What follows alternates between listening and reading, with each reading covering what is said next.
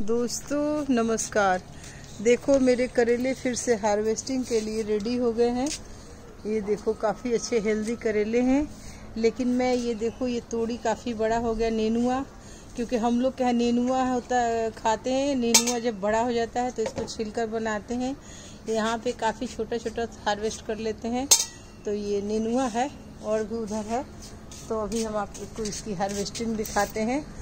ये करेले तो हम कल ही तोड़ेंगे, क्योंकि आज कल मैंने पोहे के पत्ते तोड़े थे, उसके पकोड़े बनाए थे। तो आज ये नेनुआ जो चना डाल के बन जाएगा।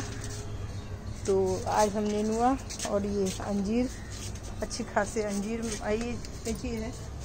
और अच्छे खासे मात्रा में देखो अंजीर भी मिला है, और ये करेले काफ़ी अच्छे हो रहे हैं, और हम आपको हार्वेस्टिंग दिखा रहे हैं।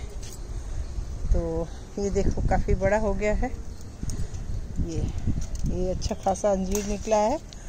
और ये देखो, ये इतना बड़ा नेनुआ निकला है और और भी नेनुआ है, जिसकी हम हार्वेस्टिंग कर रहे हैं। वो ऊपर है, उसको भी मैं आपको दिखा रही हूँ। देखो, ये काफ़ी अच्छा हो रहा है, ये खीड़ा भी बहुत अच्छा हो रहा है। और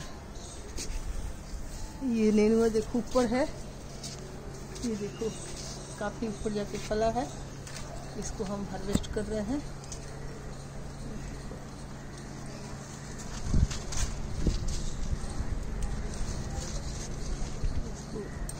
सीढ़ी लाना पड़ेगा। टूट गया क्या? नहीं।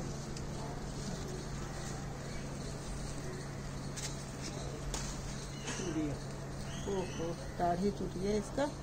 इसे मैं बोली सीढ़ी लाने के लिए। ये देखो, ये नेनुआ की डाली ही टूट गई।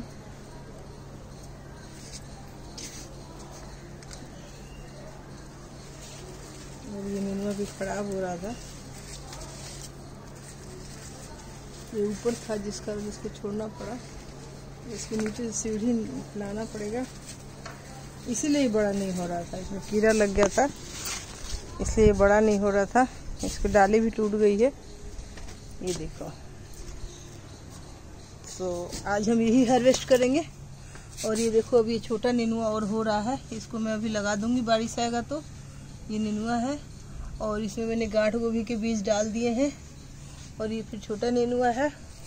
और इधर भी एक दो अभी नेनुआ, तोड़ी का पौधा तैयार हो गया है रेडी ये देखो, ये एक बोड़ी में लगा है।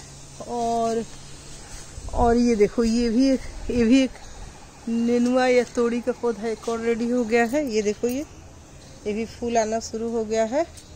और एक इधर भी, एक यहाँ भी, ये भी तेल रेडी हो गया है। तो और बाकी मैंने छोटा भी हो गया है। ये देखो। ये। Thank you